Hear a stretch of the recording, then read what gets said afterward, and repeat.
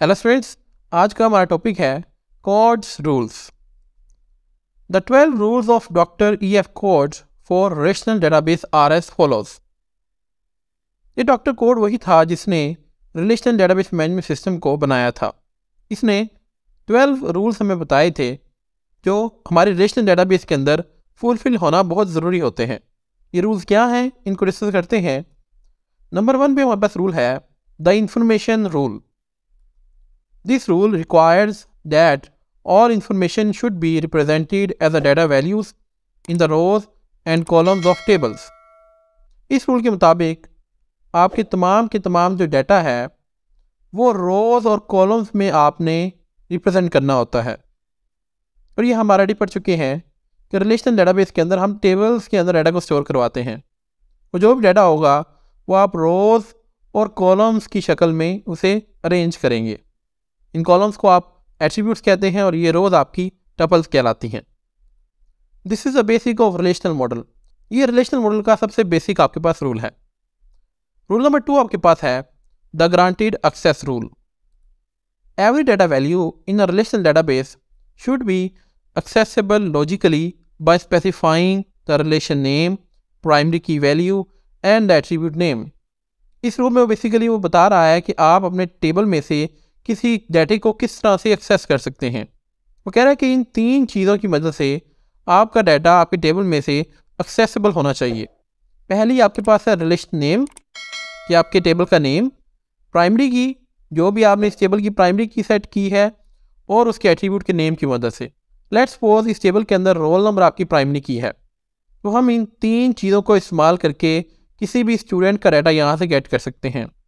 उसके लिए बेसिकली आपको क्यूरी लिखनी पड़ती है। क्यूरी क्या है, वो हम नेक्स्ट चैप्टर के अंदर पढ़ेंगे, लेकिन मैं फिर यहाँ पर आपको एग्ज़ाम्पल दे देता हूँ। ये मैंने एक क्यूरी लिखी है।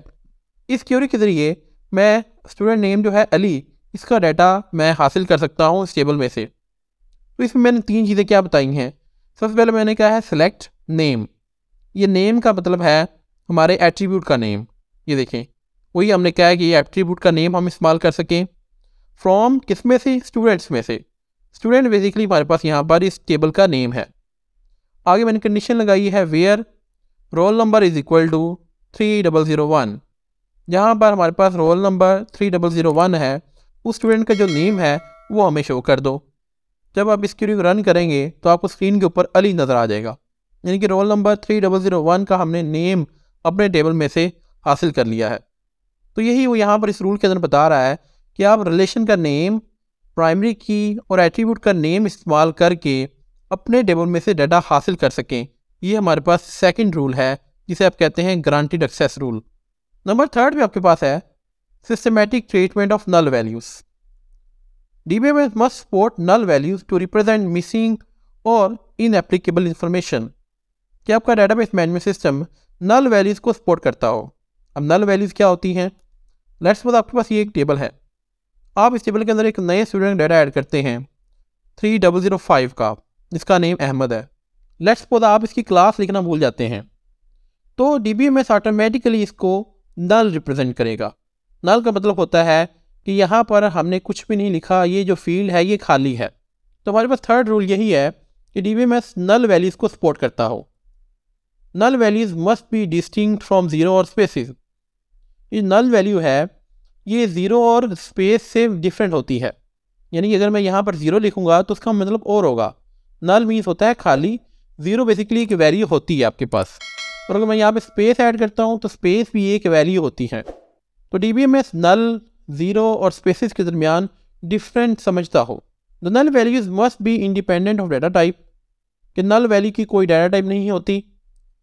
It means that null values from all types are the same कि आपके एट्रीब्यूट की डाटा टाइप जो भी हो, उसके अंदर नल वैली जो है वो सपोर्ट करनी चाहिए। नेक्स्ट नंबर फोर्थ रूल है हमारे पास active online catalogue based on the relational model the system catalogue is a collection of relation that the DBMS maintains for its own use database management system के अंदर एक catalogue होती है। जिसके अंदर कुछ टेबल्स होते हैं। उन टेबल्स में बेसिकली डेटाबेस की सेटिंग्स स्टोर होती है। These relations hold the description of the structure of the database. इन टेबल्स में क्या होता है? इन टेबल्स में डेटाबेस के स्ट्रक्चर की इन्फॉर्मेशन होती है। लाइक उसमें ये इन्फॉर्मेशन हो सकती है कि कितने टेबल्स हैं आपकी इस डेटाबेस के अंदर। उन टेबल्स के नेम्स क्या हैं? वो टेबल्स कितनी मेमोरी ले रहे हैं? इस तरह की इन्फॉर्मेशन उन टेबल्स में होती है। These relation are created on and maintain by D तो वो कैटलॉग के जो आपके पास टेबल्स हैं उन तमाम टेबल्स को जो आपका डेटाबेस मैनेजमेंट सिस्टम है, वो सपोर्ट करता हो और उसे ऑटोमेटिकली इसको मेनटेन करता हो। The user can access them in the same manner as ordinary relation depending on the user privileges इसके साथ साथ यूज़र्स उन टेबल को एक्सेस भी कर सके। ये जो कैटलॉग के आपके पास टेबल्स होंगे, उन टेबल्स को अगर यूज़र चाहे तो उन्हें देख सके। ये फीचर भी डी प्रोवाइड करता होना चाहिए। नंबर फाइव पे आपके पास है, comprehensive सब sublanguages rule. This rule states that the system must support at least all of the following functions. इसके मुताबिक कुछ फ़ंक्शन हैं जो डी बी एम एस को सपोर्ट करना ज़रूरी हैं। वो है data definition view definition data manipulation operation security and integrity constants और ट्रांजैक्शन मैनेजमेंट ऑपरेशन ये सारे के सारे कुछ फ़ंक्शंस हैं जो हम अपने पिछले डेटाबेस के चैप्टर्स के अंदर पढ़ चुके हैं कि डाटा डेफिनेशन क्या होती है, कि डाटा अबाउट डाटा डाटा के मतलब जो डाटा होता है, वो डाटा डेफिनेशन होती हैं। इसके अलावा डाटा मैनिपुलेशन क्या है? कि आप डाटा के ऊपर जो ऑपरेशन परफॉर्म करते हैं, वो डाटा मैनिपुलेशन कहलाती हैं। सिक्योरिटी और इंटेग्रिटी कॉन्स्टेंट्स क्या हैं? ये भी पता है हमें। हम रूल्स जो अप्लाई करते हैं अपने डाटाबेस के ऊपर तो डी में इन तमाम फीचर्स को सपोर्ट करता हो। अगर आप इन तमाम चीज़ों के बारे में डिटेल में जाना चाहते हैं तो आप हमारे डाटाबेस के कोर्स की जो पिछले लेक्चर्स हैं, वो देख सकते हैं। नंबर सिक्स पे है view updating rule All views that are theoretically updatable must be updatable by the system. View हम पढ़ चुके हैं, क्या होता है? एक वर्चुअल टेबल होता है हमारे डाटाबेस के अंदर। तो कह रहा है कि हम व्यूज़ को अपडेट कर सकते हो। ऐसा नहीं है कि जो व्यू हो वो स्टैटिक हो, बल्कि आप अपनी ज़रूरत के मुताबिक व्यूज़ को अपडेट भी कर सकते हो। रूल नंबर सेवन है आपके पास high level insert update and delete the rows should be treated as sets during insert update and delete operations कि अगर आप इन रोज़ को डिलीट करते हैं, अपडेट करते हैं, या कोई नई रो ऐड करना चाहते हैं तो हर रो को आप एक सेट के तौर पर लेंगे। हमें पता है कि हर रो एक डिफरेंट रिकॉर्ड को रिप्रेजेंट करती है। लाइक ये जो रो है रो वन, ये अली की डाटा को सपोर्ट करती है। रो टू, उस्मान के डाटा को शो करती है। रो थ्री, हैरी की डाटा को शो करती है। तो जब भी हम इसके अंदर कोई रो ऐड करेंगे या अपडेट करेंगे तो वो एज अ होल इसके ऊपर चेंज आएगा। The operation that modify the database should deal with the sets and not only with the single rows तो जो भी ऑपरेशन हम बेसिकली अपनी किसी रो पे अप्लाई करेंगे, वो इसके मतलब तमाम डाटा के ऊपर अप्लाई होना चाहिए। लाइक अगर ये स्टूडेंट उस्मान का डाटा किसी और टेबल में भी है तो उसके ऊपर भी वही ऑपरेशन जो है वो परफॉर्म होना चाहिए। Therefore the D B M S must allow multiple rows to be updated और डी बी एम एस हमें ये फीचर प्रोवाइड करता है कि हम मल्टीपल रोज के ऊपर एक ही वक्त में ऑपरेशन अप्लाई कर सकते हैं। रूल नंबर एट है physical data independence rule application program must remain unchanged when any changes are made in the storage representation और एक्सेस मेथड्स यहाँ पे वो कह रहे हैं कि जब आप अपने डाटाबेस के फ़िज़िकल डिज़ाइन में चेंज करते हैं तो इसका इफ़ेक्ट डाटा के ऊपर नहीं होना चाहिए। दोनों एक दूसरे के ऊपर डिपेंड ना हो, बल्कि इंडिपेंडेंट हो। इसको एक डायग्राम की मदद से समझते हैं। लेट्स सपोज़ आपके पास ये डाटाबेस है। आपको पता है कि आप डाटाबेस को डायरेक्टली एक्सेस नहीं करते, बल्कि आप डाटाबेस को एप्लीकेशन प्रोग्राम के थ्रू एक्सेस करते हैं। तो इस डेटाबेस के अंदर जितने भी टेबल्स होंगे, वो आपकी इस एप्लीकेशन प्रोग्राम में शो हो रहे होंगे। अब जो भी ऑपरेशन फॉर्म करेंगे, वो आप इस एप्लीकेशन प्रोग्राम के थ्रू करेंगे। अब ये डेटाबेस किसी न किसी स्टोरेज मीडिया के ऊपर स्टोर होगी। लेट्स सपोज़ ये हार्ड डिस्क के ऊपर स्टोर है। इस रूल का मतलब है कि लेट्स सपोज़ मैं इस हार्ड डिस्क को चेंज कर देता हूँ। मैं इस हार्ड डिस्क की जगह कोई और स्टोरेज मीडिया ऐड कर देता हूँ। यानी कि मैंने फ़िज़िकल डिज़ाइन में चेंज किया तो इस चेंज का हमारे एप्लीकेशन प्रोग्राम के ऊपर या डेटाबेस के अंदर मौजूद डाटा के ऊपर कोई भी इफ़ेक्ट नहीं होना चाहिए। कि मैं हार्ड डिस्क की जगह पे यहाँ पे मैग्नेटिक डिस्क लगा देता हूँ। ये जो मैंने चेंज किया है, इसका इफ़ेक्ट हमारे इस एप्लीकेशन प्रोग्राम के ऊपर या डाटा के ऊपर नहीं होना चाहिए। ये हमारा रूल नंबर एट है। रूल नंबर नाइन है logical data independence the changes that do not modify any data store in that relation do not require changes to be made to application program कि अगर आप logical design में change करते हैं, उसका भी effect data पे नहीं होना चाहिए। कि लेट्स सपोज़ आपके पास ये डाटाबेस है और ये आप एप्लीकेशन प्रोग्राम में उस डाटाबेस को देख रहे हैं। लेट्स सपोज़ आपने डाटाबेस के अंदर इसकी जो प्राइमरी की है, वो सेट की है रोल नंबर ये बेसिकली हमने इसके लॉजिकल डिज़ाइन में सेट की होगी। अब लेट्स सपोज़ हम इसे चेंज करते हैं। मैं प्राइमरी की रोल नंबर से हटाकर मैं इसे रजिस्ट्रेशन नंबर कर देता हूँ। तो ये बेसिकली मैंने लॉजिक के अंदर चेंज किया है। इस चेंज का भी आपके एप्लीकेशन प्रोग्राम के ऊपर कोई भी इफ़ेक्ट नहीं होना चाहिए।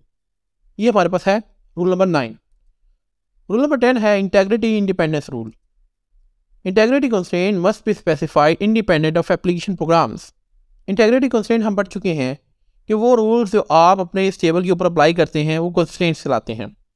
यहाँ पे वो कह रहा है कि जो कंस्ट्रेंट्स हैं, वो एप्लीकेशन प्रोग्राम से इंडिपेंडेंट होने चाहिए। ऐसा नहीं है कि आप सिर्फ़ एप्लीकेशन प्रोग्राम पे रूल्स अप्लाई करते हैं, बल्कि आप डेटाबेस के ऊपर अलग से रूल अप्लाई करेंगे। They must be store in the catalog उन रूल्स को आप कैटलॉग के अंदर सेव करेंगे। रूल नंबर इलेवन है आपके पास distribution independence rule existing application should operate successfully when the data is distributed कि अगर आप अपने डाटे को डिस्ट्रीब्यूट करते हैं लेट्स सपोज़ पहले मेरा डाटा एक जगह पर स्टोर था। अब आप अपने डाटे को मुख्तलिफ़ जगहों पर स्टोर कर देते हैं। तो ये डिस्ट्रीब्यूशन का इफ़ेक्ट भी हमारे डाटे के ऊपर नहीं होना चाहिए। हम डिफरेंट डाटा डिस्ट्रीब्यूशन स्ट्रेटजीज पढ़ चुके हैं। अब जो भी स्ट्रेटजी उसमें यूज़ करें, उसका इफ़ेक्ट आपके डेटाबेस के ऊपर नहीं होना चाहिए।